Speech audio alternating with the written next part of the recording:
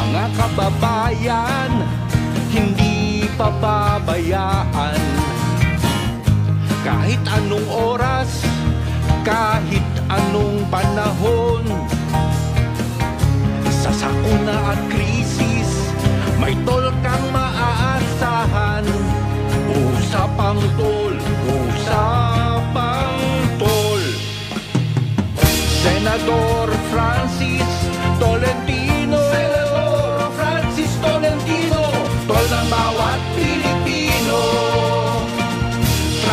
Trabaho baka mo Tutok lang dito Sa usapang tol. Usapang tol Usapang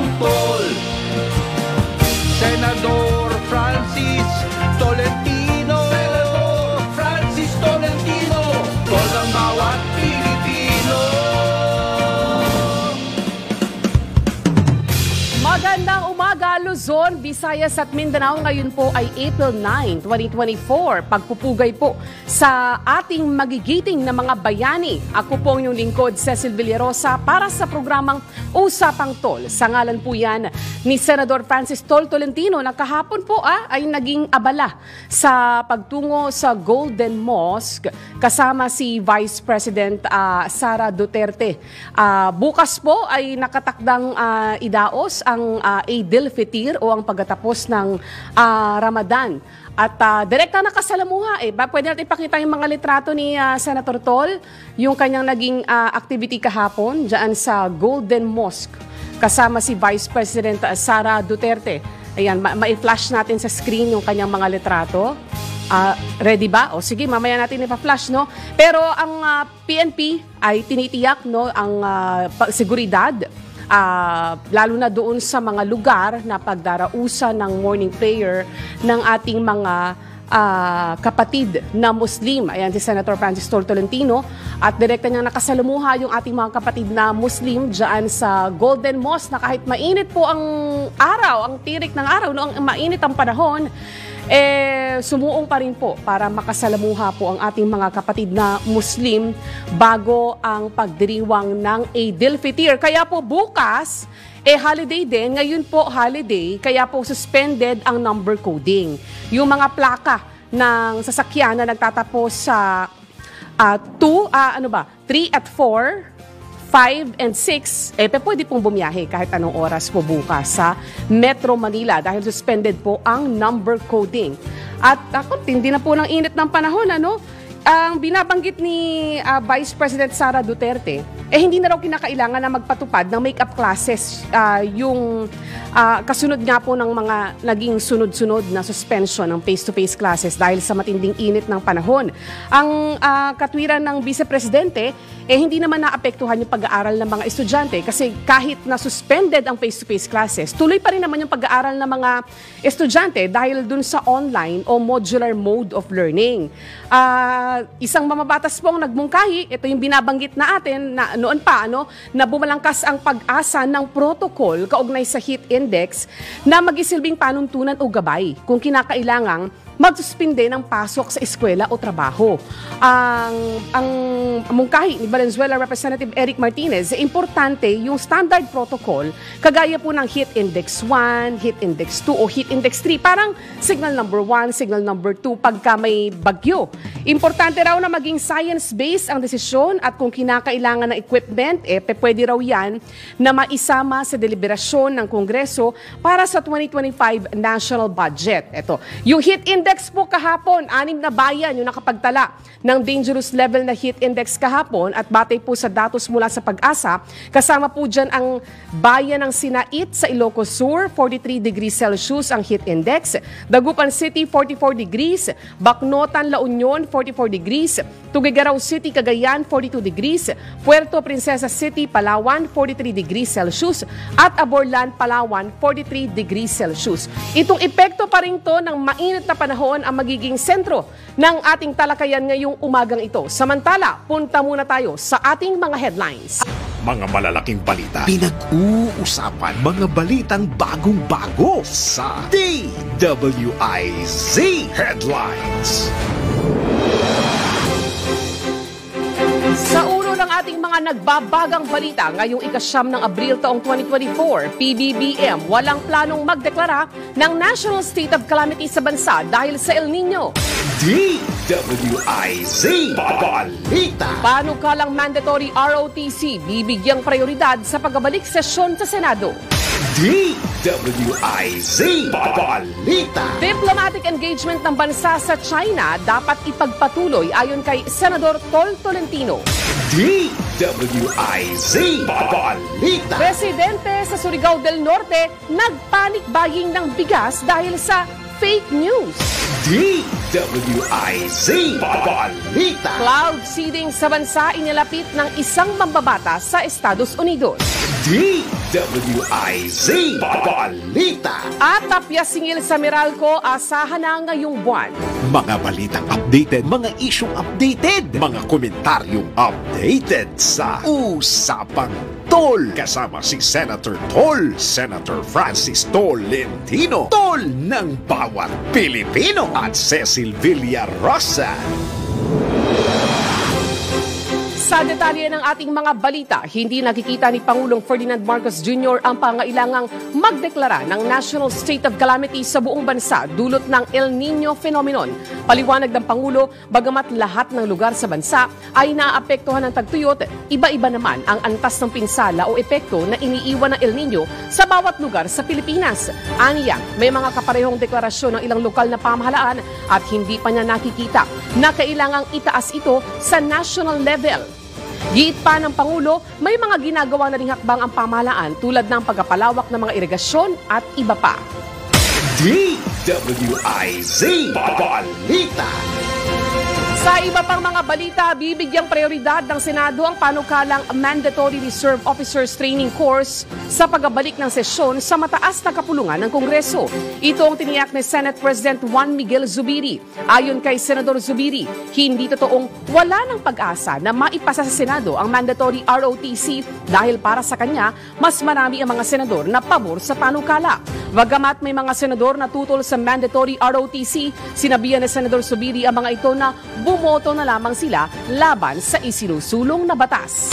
DWIZ Balita Sa oras na labing isang minuto makalipas ang alas 6 ng umaga, dapat pa rin ituloy ng Pilipinas ang diplomatic engagement sa pagitan ng China. Ito ang iginiit ni Senate Special Committee on Maritime and Admiralty Zones Chairman Senador Francis Tol Tolentino sa harap ng isinagawang Maritime Cooperative Activity sa pagitan ng Pilipinas, US, Australia at Japan sa Exclusive Economic Zone.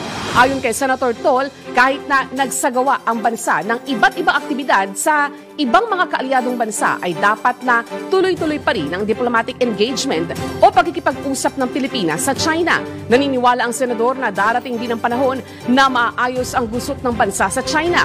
Binigyang diin din ni Senador Tol na hindi naman tayo dapat tumiklop at maiging sabayan ang diplomatikong pagkikipag-ugnayan na pagkapalakas sa mga alliances, pagkapaigting sa ating mga non-defense treaty allies na maaaring maging katuwang sa marine research tulad ng Norway, the Netherlands at Chile at pagkapalakas sa ating internal defense capability. Samantala, sinabi pa ni Senador Tol na asahan na magiging regular ang military patrol exercise ng Estados Unidos, Japan at Australia sa Pilipinas na pagkapakita ng pinalakas na alyansa ng mga bansang may iisang layunin.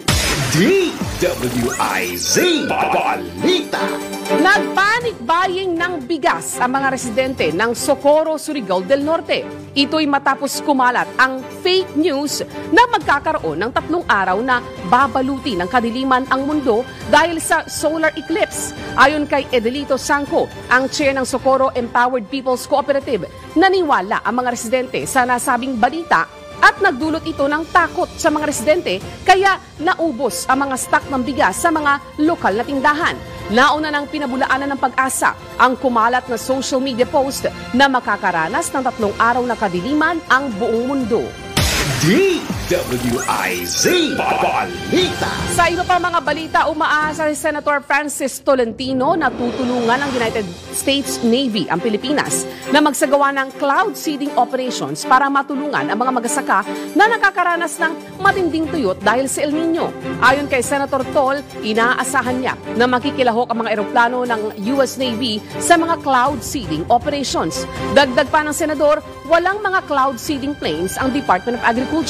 Binigyang diin din ni Senator Tol na, wal, na malaking tulong ito sa mga magasaka na hindi makapagtanim ng palay dahil sa kakaunting ulan at matinding init ng panahon. DWIZ Balita Naku, good news naman po ito no, sa mga customer ng Meralco dahil halos piso o nasa higit 98 centavos ang mababawas singil ng Meralco kada kilowatt hour para sa buwan ng Abril. Kaya mula sa 11 pesos and 93 centavos noong Marso, nasa 10 pesos and 95 centavos na ang magiging power rate ng Meralco para sa kasalukuyang buwan. Dahil dito ang kumukonsumo ng 200 kilowatt hour kada buwan ay makakaranas ng 198 pesos na tapyas sa kanilang electric bill. Ang mas mababang singil ng Meralco ay dahil sa pagbaba ng generation charge ng independent power producers at ng power supply agreements. Ito ang unang beses na nagpatupad ang Meralco ng bawas singil matapos ang tatlong buwang sunod-sunod na rate high. DWIZ Balita Mamaya po ay meron tayong makakapanayam ano, mula sa Meralco. Andiyan na ba? Yung ating makakapanayam mula sa Meralco, si Claire Feliciano. Si Ma'am Claire Feliciano, ang Public Relations Head ng Meralco. Magandang umaga po, Ma'am Claire. Magandang umaga, magandang umaga po ma'am at sa lahat po ng nakasubaybay sa atin ngayong umaga. Mhm. So, ma'am, ito pong bawas singil effective for the month of April. Ano po? Medyo malaki-laki ha. Almost 1 pesos din po. Ah, Yes, 1 opo, peso. Mhm, mhm. Yes opo ma'am, tama kayo no. So kakaanunsyo lamang po namin na meron po tayong halos na pisong bawas singil sa kuryente ngayong buwan ng April po yan. So makikita ng customers natin yan dito sa mga bills na papasok po sa kanila ngayong buwan. So katumbas po yan ma'am ng, ng tapyas na one, nasa 198 pesos po no para sa bill ng isang pangkaraniwang pamilyang kumukonsumo ng 200 kilowatt hours. And habang tumataas yung konsumo ninyo ay medyo tumataas din po yung tapyas no. So for 300 kilowatt hours nasa 296 pesos yan. For 400 kilowatt hours, nasa 395 pesos. And for 500 kilowatt hours, nasa 494 pesos po. So, we are very happy to announce this um, rate reduction. And we hope po kahit papaano ay makakapagbigay ng relief ito sa ating mga customers. Mhm. So, yan po yung makikita, na- makikita nila sa kanilang April billing na matatanggap Yes, nila katapusan ng Opo, katapusan ma'am. ng buwan ano ho? Yes, ma'am. Mhm. Hindi ba naapektuhan, um, Ma'am Feliciano, ang Meralco ng mainit na panahon, yung inyong energy supply? Actually, ma'am, um, so far okay naman po tayo, no? And itong pagbaba ng rate natin ngayong buwan, dahil po yan sa binanggit ninyo kanina na malaking pagbaba din sa parehong generation at transmission charge. Itong generation charge po, ito yung binabayad natin sa ating mga supplier ng kuryente, no? And uh, katulad na banggit nyo, bumaba po yung singil mula sa independent power producers and power supply agreements natin. And the offset po niyan yung Sing, dagdag singil naman mula sa wholesale electricity spot market. Ito pong WESM, ito po yung na, naka- nakita natin na naapektuhan po ng pagtaas ng demand. Kasi ito pong WESM ay diktado po yan no, ng law of supply and demand. And nakita nga natin na syempre, dahil nga umiinit na po ang panahon, no? So nakita natin na tumaas ang demand and uh, naka-apekto yan dun sa supply conditions sa WSM kaya tumaas po. But nonetheless, we are, ma- mabuti naman po no, yung ibang supplier natin, particularly yung IPPs at PSAs, ay nagawa pong ma-offset kung ano man yung naging pagtaas sa WSM. Kaya ang naging net effect pa din po ay pagbaba pa rin po. Actually, that's a welcome development, Ma'am Feliciano, kasi alam naman natin, yung epekto na mainit na panahon, ito mataas po ang konsumo sa kuryente eh, ng ating mga kababayan.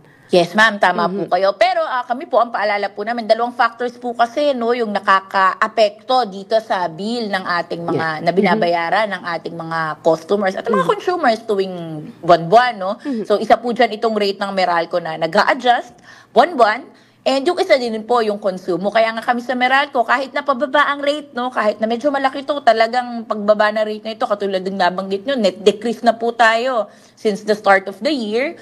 Uh, we still continue to urge our customers na patuloy pa din po nating ugaliin ang masinop at patalinong paggamit ng kuryente at i-manage ang ating consumption. Because again, kung ano man yung babayaran natin sa bill buwan-buwan, ay naaapektuhan po yan ng ating actual na konsumo. Mm, na, nabanggit nyo na yan, ma- ma'am. Ang susunod ko itatanong, pinapatanong po ito ni Senator Tolentino, ano yung mga al- alternative na mga paraan ng pagtitipid sa paggamit ng kuryente sa inyo na po manggaling para direktang marinig na ating mga kababayan?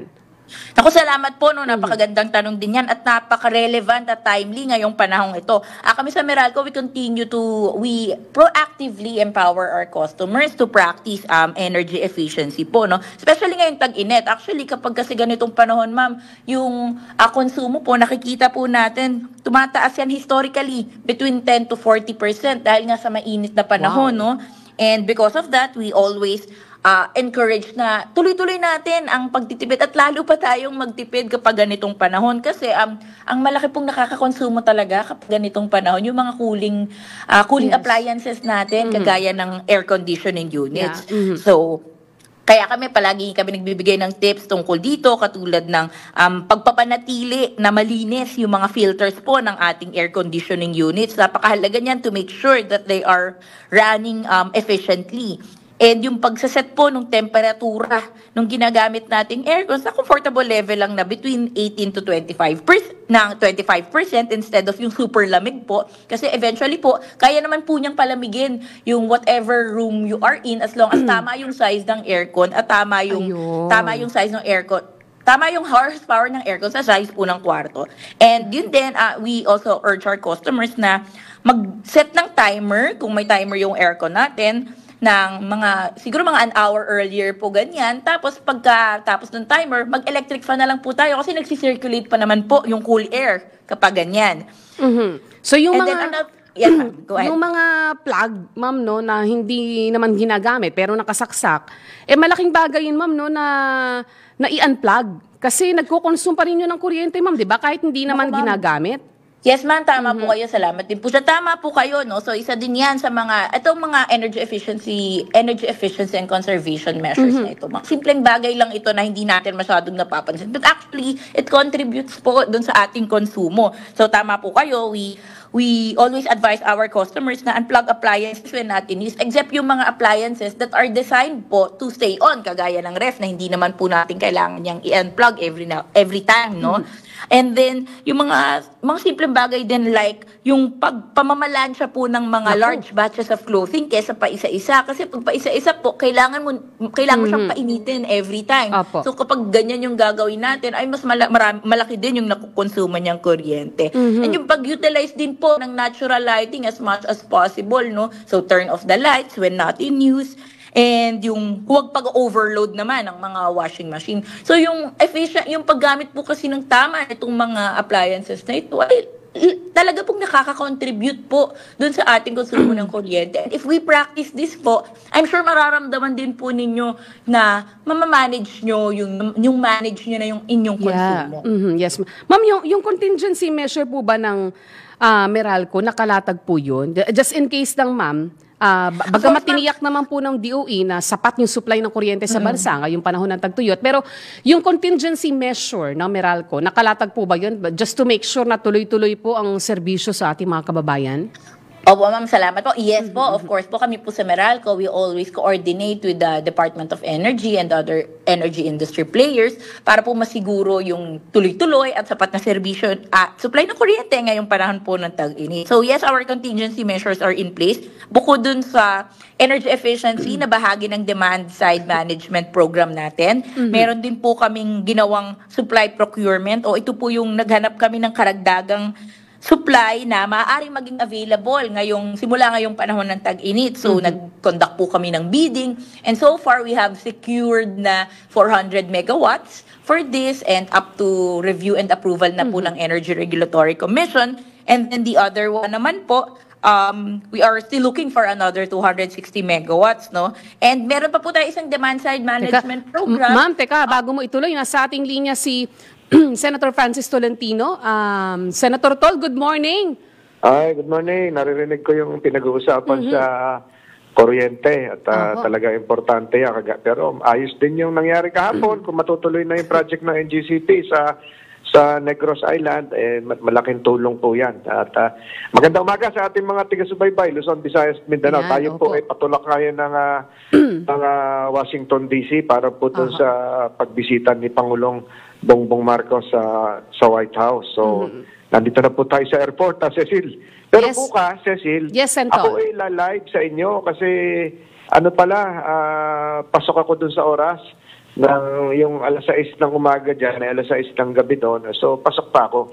So, mag- magka, ma, ma, Yun, pa ayos, tayo bukas. Senator Tol. Oo, Kaya, kaya lang, parang solar eclipse kayo. eh. Hindi ko maintindihan itong solar eclipse Aha. ngayon sa, o tapos na.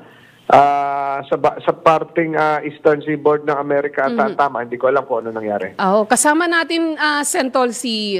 Um, andyan pa ba yung ating um, ah, taga, yung ah, public relations head ng Meralco? Oo. Pa- ah, ma'am. Yes po. Hi, Yes. ma'am. Opo. Ito, Hello, Sen- yes, Sentol. Baka may karagdagan Oo, kang oh, katanungan Wala, kay Ma'am nakikinig Feliciano. lang ako. Papunta ako ng airport eh. Baka mag-brown out din dito. Tinitingnan natin. Ay, oo nga pala. Ah, di- Nag-abiso ang naiya, di ba, Sentol? Na Oo, may titingnan natin maintenance kasi- activity. Kasi dati nagkaroon ng brown out noon nung isang bago magmahal Mm-hmm. na araw. Eh, naging ah, usap-usapan. Terminal 2 naman yon Pero sinasabi nila may mga backup generators naman. Ah, okay, okay, Sentol. Ayan, sige. Tingnan natin kung ano. So, Mm-hmm. ang Meralco, dapat talaga nakatutok ngayon. Mahaba pa ito. Mahaba pa itong Tagtuyot. Mm-hmm. itong tag-init. Oo, mahaba pa ito. Hindi pa ito g- ganap na matatapos agad. Yes, so patuloy nating tututukan yan, Senator Tol. At ingat ka sa magiging biyahe at balitaan mo kami. Ay, sa, sa, bal- Sa- balita ko kayo bukas ta, tayo una magre-report sa exclusive bu- buhat sa Washington DC. Yan, direkta. Ah, sa usapan to. Direct po. At ah, sikapan natin ano, sikapan natin na sa labas na para may para may background na nandun mismo sa US Capitol. Ayan, maraming salamat, So, Sentol. magandang umaga po muli, Yes. lalong-lalo na sa mga mga kababayan natin na nakikinig ngayon sa Cebu. Magandang umaga po sa inyo. At yung, sa, yung mga kababayan natin naghintay kahapon sa Sablayan, Mindoro, pasensya na po, hindi tayo naka nakarating doon sa provincial meet sa Sablayan, Mindoro ng ah, Mindoro Occidental. Ah, ah, good luck po sa inyo at ah, sana maging successful po yung ah, provincial meet. Ito po si Senator Tolentino sa Usapang Tol. Magandang umaga po sa mga tiga-subaybay natin. Salamat, Cecil! Ayan, maraming salamat, Senator Tol. Yan po si Senator Francis Sol Tolentino, napapunta ngayon sa NAIA ah, para bumiyahe patungo sa Washington, D.C. Ma'am Claire, balikan natin yung binabanggit mo kanina, yung mga nakalatag na mga ah, na mga measures o contingency measure ng Meralco. Opo, no, ah, salamat po. No? So, yes, ma'am, ah, katulad ng nabanggit ko, meron po tayong mga ginawang supply procurement activities para madagdagan yung available na supply natin, simula ngayong tag-init. And meron din po kaming proactive na pinupromote. Actually, programa po ito ng ating pamahalaan, no, ng Department of Energy. Ito yung tinatawag naming Interruptible Load Program, kung saan we actively urge our big load consumers, o usually ito po yung mga malls, na kapag meron pong ah, period of red alert, ito po kasing red alert, idinedeklara yan ng National Grid Corporation of the Philippines. Ibig sabihin, kapag nag-red alert, ay meron po tayong insufficiency o kakulangan ng supply. So itong programang ito ay na-activate po kapag naka-red alert and then we ask our customers, itong mga naka-enroll sa programa, na gamitin muna yung kanilang generator sets instead of drawing power from Meralco. That way po, yung, yung limitadong supply na meron tayo ay mairarasyon natin sa ating mga residential customers, small businesses. And that way, we also hope na hindi na, kay, hindi na magkaroon man ng, ng rotating power interruptions kung magkakaroon man. Alright, ma very well said, Ma'am Claire Feliciano. Salamang, maraming salamat po.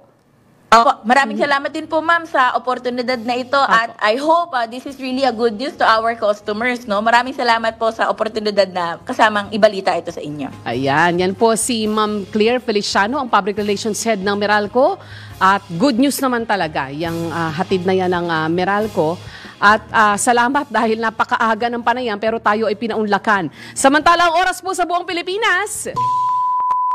Ganap ng 6.29 ng umaga. Senator Francis Tolentino, tol ng bawat Pilipino at Cecil Villarosa. Senador Francis Tolentino. Senador Francis Tolentino. Tol ng bawat Pilipino. Tol ng bawat Pilipino. Kailangan malaman mo na ang mga presyo sa labas sa Palengke Report. Alamin natin na ang presyo ng mga bilihin ngayong araw na ito.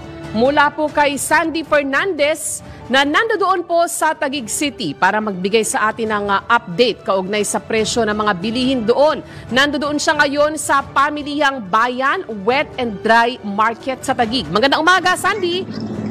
Happy Tuesday, Senator Francis Tolentino at Ms. Cecil Villarosa. Ako ay live dito sa pamilihang bayan ng Taguig. Ang bigas dito na mula Bulacan ay nagbaba ng piso kung kaya naman ang pinakamurang uri ay mabibili sa halagang 50 pesos per kilo Mhm. habang 70 pesos per kilo naman ang pinakamahal. Ang isda galing Malabon o Navotas Fishport ay di umanong nagbaba ng 20 pesos per kilo at mas mabenta noong Holy Week dahil alternative sa karne. Kung kaya naman ang pinakamababang isda ay mabibili sa 50 Ms. Cecil at Senator, Wow. 50 pesos per 50 kilo. pesos kada kilo? Anong isda yan? Ito, ito po Ms. Cecil at Senator yung, yung ano nila, tamban. Oh! Opo. At habang 200 pesos per kilo naman ang pinakamahal nila, ito Wow. yung tulingat at alumahan. Ang karne naman na hinahango mula Sigdal, Sigdalo ay with steady prices kaya naman ang pork giniling, liempo at pork chop ay 360 pesos per kilo. Ang spare ribs nila na malaman ay 340 at yung yung buto na spare ribs ay 300. Sa usapan naman ng gulay, ang mga produkto mula Divisoria ay nagbaba ang presyo. Ang pinakamurang gulay, ito ang kamatis pa rin natin, Hmm. ay mabibili ng 60 pesos per kilo. Habang 200 pesos per kilo naman ho ang pinakamahal. At ito ho yung ating bell pepper, Miss Cecil at Senator. Mhm, medyo ah, mura nga, ano? Mura nga yung ah, kamatis. Tsaka mura yung, mukhang mura yung bilihin dyan, ah, Sandy, ah, as compared dun sa ibang mga iniikot na ninyong mga palengke, no? In the yes, past? Miss Cecil, totoo po yun. Kasi kung, kung ikukumpara din ho natin yung itlog na napag-usapan natin kahapon, ang bentahan ho doon, yung small natin ay 7 pesos each ho, di ba? Pero dito ho, mabibili ang small ng 6.50 pesos po. Ay, Ah. pesos, yes, tama, pesos. Mm, kaya kung bultuhan, importante talaga, ano eh, no? Ma- madiskarte rin yung ating mga mam- mamimili. Alam yung mga lugar na kung saan makakamura, no? Yan, dyan sa Tagig. Ah, pamilyang Yeah. bayan wet and dry market eh med- medyo mura pala ang mga bilihin. Anyway, Sandy, sino ang maswerteng tatanggap ng Sentol token ngayong umagang ito? Yes, Miss Cecil, Mhm. kasama po natin si Miss si Ate Tess Obregon, ang isa siyang fish vendor. At meron po tayong live video, Miss Cecil, ngayon para makamusta niyo sa ngayon. Ayun, good morning po, Ma'am Tess. Good morning po. Ay, ayun o si Aling Tess, ang ganda ng ngiti sa umaga ni Ma'am Tess. At suot na niya yung apron ng Sentol. Anong, anong inyong tinitinda, Ma'am Tess? Ano po ngayon? Galunggong po sa katulingan. Uy, galunggong. Alam nyo, galing ako sa grocery kahapon. 400 pesos, Ma'am Tess, ang presyo ng kada kilo. Ayun, eh bibili sana ako, matras ako, 400. Eh dyan po ba sa inyo? Magkano ang kilo ng galunggong? Meron pa akong 160, meron pong 140, meron pong 120, tsaka merong 100 ang kilo. Aba, mura. Ang laki ng ano ha. Ang laki ng ah, iminura. Ikumpara mo. Bagay, mahal po kasi Opo. talaga pag grocery price eh, no? Kaya yung ating mga kababayan, eh mas maganda talaga pag wet market bibili. Pag mga isda at karne. Mas fresh pa, ano, Ma'am Tess? Yes po, Oo. fresh po. Eh, eh, kamusta naman ho ang benta ngayong umaga? Okay lang po, may Ayan. paisa-isa pa lang po kasi siyempre po mga tulog pa siguro sila. Eh, eh di bale holiday naman ngayon, Ma'am Tess. Kaya may Mamaya panahon. pa po. Oo, may panahon ng ating mga kababayan na mamili ngayong araw at hanggang bukas. Yon. Kaya tataas ang inyong benta. Ay, ayan, oo. Wag, yung apron na yan, Ma'am Tess, nako, ah, napapanahon yan. At ah, yung t-shirt ng Sentol, ayan, akma rin yan sa mainit na panahon. Yan, kasi komportable. Ayan. Maraming salamat, Ma'am Tess. at sa po. Opo, sa pagsuporta sa programang Usapang Tol. Sandy? Yes, Miss Cecil. Ako ulit si Sandy Fernandez, ang kumpare niyo sa palengke, nagbabalitan ng tama at naglilingkod ng tama. Maraming salamat ho. Yan po si Sandy Fernandez, nagre-report ng live mula po sa Pamilihang Bayan Wet and Dry Market sa Tagig. Ba, mura-mura yung presyo ng mga bilihin doon na. Oo. At ah, mula naman dito sa Pilipinas, eh, tatanggap naman tayo ng pag-uulat mula sa abroad, sa labas ng bansa. No, dahil alam nyo naman, pagka-araw ng Martes, ito ay dedicated para sa ating mga kababayang OFW na masipag na nagbibigay sa atin ng update ano, tungkol sa kanilang sitwasyon doon sa ibang bansa. Ayan. Eto, bigyan daan muna natin ang... O sige, bumper muna tayo. Update at talakayan sa mga OFW linggo-linggo. Ayan. Magandang araw sa iyo, Victor Ramos. Nagre-report ng live mula sa North America. Nandoon siya sa Canada. Ayan. Good morning, Victor. Ah, magandang umaga sa inyo dyan, Cecil. Yes. O, kamusta naman dyan sa Canada ngayon, Victor? Malamig pa rin ba? Ah, actually, spring na, no? Pero malamig pa rin. Um, as usual, ma- maulan pa rin. Um, we're expecting na by now, dapat s- medyo mas warm na. Pero still, ayun, ma- maginaw pa rin sa ngayon. Mhm, mhm. Ngayon. O, sige. Ah, balitaan mo kami. Ano bang pinakahuling ah, balita dyan sa ating mga kababayan dyan sa Canada? Um, sa Mayo, una na sisimulang ipatupad ang paghihigpit sa pagtanggap ng mga temporary foreign workers sa Canada. Sa harap ito ng pagbaba ng mga bakanteng trabaho sa Canada. Kaya gusto ng pamahalaan na bigyang prioridad ang kanilang mamamayan at mga permanent residents doon. Nauna nang inanunsyo ng kamakailan ni Immigration Minister Mark Miller at Employment Minister Randy Bosinot ang kanilang target sa pagkontrol sa immigration system ng Canada. Layunin ng IRCC, prioridad na mabigyan ng hanap buhay ang mga refugee o asylum seekers sa bansa bago dumepende sa mga temporary foreign workers or TFWs. Simula sa Mayo, mula sa 30% ng kabuuang workforce, ang mga employer na kasama sa 2022 Workforce Solutions Roadmap ay papayagan na lamang na magkaroon ng hanggang 20% na temporary foreign workers, maliban na lamang sa sektor ng construction, agrikultura at kalusugan. Bago rin mag-apply para sa New Labor Market Impact Assessment o LMIA, dapat ay humanap muna ng alternatibo ang mga employer, kabilang na ang pagkuha ng mga asylum seekers na merong valid work permit sa Canada. Matatanda ang noong January 1, una nang inatasan ang mga employer na magsagawa ng taunang review sa sahod ng mga temporary foreign workers para matiyak na, maipat, ipapatupad ang kakulang ang kaukulang aumento sa wage rate para sa kanilang trabaho of, at region of work. Pinapayagan kasi sa Canada ang magtrabaho ng part-time ang mga international students habang ang mga, kanilang mga asawa o common law ay pinapayagan na kumuha ng temporary work permit. Sila ay kasama sa mga temporary foreign workers sa Canada. Taong 2022 nang magluwag ang labor market ng Canada kasunod ng kakulangan ng mga manggagawa matapos ang pandemya. Pero dahil sa nag-iba na ang sitwasyon ng ekonomiya, naghigpit na sa mga temporary foreign workers ang Canada. At yan ang pinaka ah, unang balita dito ngayon, Cecil. Sa May na pala ipapatupad ano, yung paghihigpit sa mga foreign worker dyan sa Canada. Ah, Oo, tama, ayun. tama. This, ah, this coming May na. Ayun. Anyway, maraming salamat sa report mo, Victor Ramos, at mag-iingat ka dyan sa Canada. Maraming salamat din, Cecil. Mhm. Ang oras po sa buong Pilipinas, ganap ng 6.43 ng umaga. Mga balitang updated, mga isyong updated, mga komentaryong updated sa Usapang Tol. Kasama si Senator Tol, Senator Francis Tolentino, Tol ng bawat Pilipino at Cecil Villarosa. Kasama si Senator Tol, Senator Francis Tolentino, Tol ng bawat Pilipino at Cecil Villarosa. Senador Francis Tolentino. Senador Francis Tolentino. Tol ng bawat Pilipino. Tol ng bawat Pilipino. Nagbabalik pong programang Usapang Tol sa oras na 6.15 ng umaga. At ah, habang naghihintay tayo ng ating panayam ngayong umaga, no, ay bigyan daan muna natin itong report mula kay Gilbert Perdes.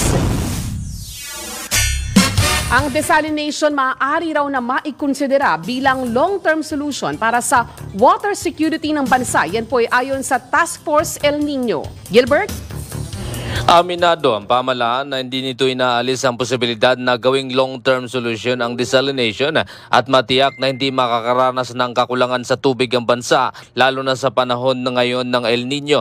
Ginawa ni Task Force El Nino spokesperson at PCO ASEC Joy Villarama ang payag sa harap ng pagpupursige ng pamalaan na matiyak ang water security sa bansa. Sinabi ni Villarama na marami ang nagtatanong sa kanya kung maaaring tularan ang ibang mga bansa gaya ng India na gumagamit ng prosesong desalination.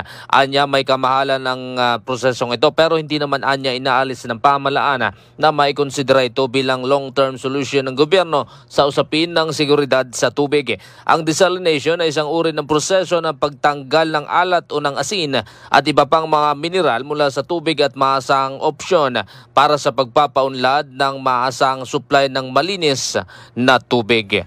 Patrol 13, Gilbert Perez nagbabalita ng tama, naglilingkod ng tama.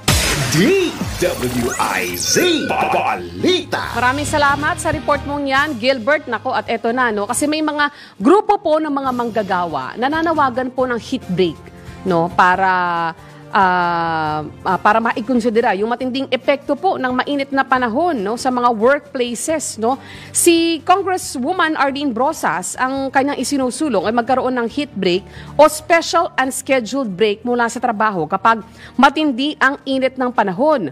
Ang binabanggit ni Congresswoman Brosas ay kailangan ng mas malawak na polisiya na sumasaklaw sa lahat ng mga manggagawa lalo na yung mga nandoon sa outdoor yung mga nasa sektor ng agrikultura ah, construction, mga delivery rider at yung mga nasa sektor ng turismo. Alamin natin kung ano ang pananaw tungkol dito ng Department of Labor and Employment. Nasa linya po ng ating komunikasyon si Labor Secretary Benny Laguesma. Good morning po, Secretary. Magandang umaga, Cecil. Magandang umaga din po sa ating mga taga-tangkilik at taga-subaybay. Mhm. Eh, ito pong grupo ng mga manggagawa, nananawagan po ng heat break, ah, Secretary. Ah, what are your thoughts on this po? Eh, nung po pong nakalipas na taon, April po ng 2023, meron na po kaming ipinalabas na labor advisory. May kinalaman po sa safety and health measures po na ah, a-address o mag-control po ng ah, tinatawag natin na heat stress at the workplaces. So, ah, para, dahil po kung natatandaan nyo, Cecil, kahit na nung nakaraang taon, medyo mainit na rin ang panahon, kaya napagpasyahan po ng ah, DOLE na magpalabas nga po ng nasabing advisory na hanggang sa ngayon naman po ay epektibo po yan. Ah, may kinalaman po doon sa paano po ba matutugunan ah, yung pong ah, at ma-mitigate po yung tinatawag na is extreme heat at work. At ah, meron po kaming mga binanggit doon na mga aming ah, nakikita pwede pong makatulong para po sa pagkontrol ah, noon pong ah, nararanasan na matinding init na nag expose sa panganib sa atin pong mga manggagawa. Ayun. Ang nakalagay po dito, binu, uh, binuksan ko po itong Labor Advisory number 8, series of 2023. Ito po ay in place pa rin para Secretary, ano? Yes, ah, hanggat hindi po yan na nire-revise o iname- inamendahan, tuloy-tuloy po yan. At siguro mapapansin mo, Cecil, applika- applicable pa rin yung mga provisions na yan at ah, siguro kinakailangan lamang talaga na subaybayan kung paano po isinasagawa ng atin pong mga employer o namumuhunan nang sa ganun naman po ay mapangalagaan ang kalusugan at kaligtasan ng ating pong mga manggagawa. Ah, yung pong mga naka-expose, ah, hindi lamang po dun sa ah, covered places, kundi lalo na po yung mga nasa labas ng atin pong ah, kapaligiran. Ah, kailangan po siguro din na mabigyan sila ng sapat na pangangalaga nang sa ganun naman matiyak po natin na walang pinsala sa kanilang ah, katawan, kalusugan at kaligtasan. Opo, among the highlights nga po nung binabanggit yung labor advisory ay yung pagkakaroon ng ventilation at heat insulation sa lahat ng mga sa mga workplaces. At pe, pwede po palang i-adjust yung rest break no? Para payagan yung ah, recovery mula sa heat exposure ng mga manggagawa. At yung provision po ng dapat maging akma yung kasi kanilang suot ng mga uniforme ano ah, sa mainit na panahon at yung pagkakaroon po ng ah, libre at adequate sapat na drinking water sa mga workplaces, Secretary. Yes, tama ka dyan, Cecil. At ah, yun nga, yung angkop na kasuotan, ah, alam natin po kasi meron din mga place of work na meron silang requirement na certain na class o type ng ng ah, uniforme Ah, dahil yun naman po siguro bukod lamang dun sa pagkakaroon ng ah, ang ah, pagtugon ah, sa uniform decorum eh meron pong ah, rason yon na baka yun ay kasama rin sa tinatawag po natin na personal protective ah, equipment ng ating mga manggagawa. Sa bahagi po ng ah, mga ating ah, construction workers, eh, meron na po tayo diyang nakalatag na guidelines to ensure yung health and safety ng ating manggagawa sa construction industry at ah, meron po rin tayong tagubilin sa ating po mga field or regional implementors na patuloy na subaybayan po at ah, yung pagda, pagtitingin po, ah, pag-inspeksyon, uh, ipagpatuloy, lalo na po kung nakikita at meron po namang sigurong reklamo na natatanggap ang ating ah, mga tanggapan, may kinalaman po dun sa sobrang init o kaya naman ay kulang sa ventilation ang mga pagawaan na kanila pong pinagtatrabahuhan. Ayun, you welcome that, uh, Secretary, kung may mga ganong reklamo.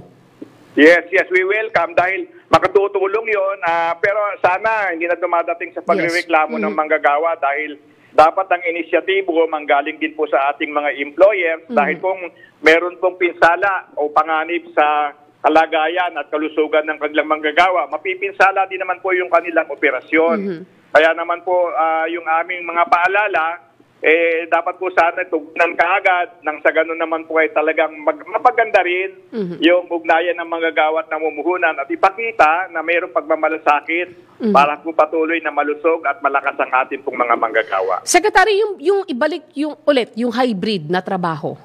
Pwede Pinapayagan po naman po sa ilalim ng... Napag-uusapan yun, Cecil, in fact, kasama din sa advisory Aha. yung ah, flexible ah, work arrangement. Mhm. Ano, meron din po yung yung work from home, pwede po naman pag-usapan yon. Kaya lang may mga trabaho talaga. Lalo na yung nagpo-produce ka ng goods sa Cecil, Mhm. eh kailangan ng personal ah, physical presence ng manggagawa.